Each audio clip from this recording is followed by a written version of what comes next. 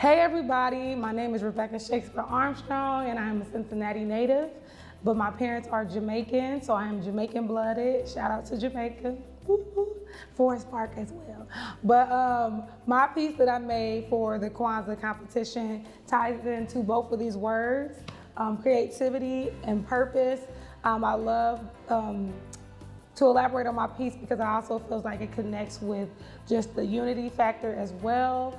Um, it means so much to me because it represents the mother Mother Kwanzaa concept. So it ties into connection, um, a village mindset, how everybody should connect and be on one accord, as well as creativity, how we strive to grow, just like leaves on a tree and flowers in the ground, how it, takes time to bloom, but once you see it flourish, it's like something you can't explain.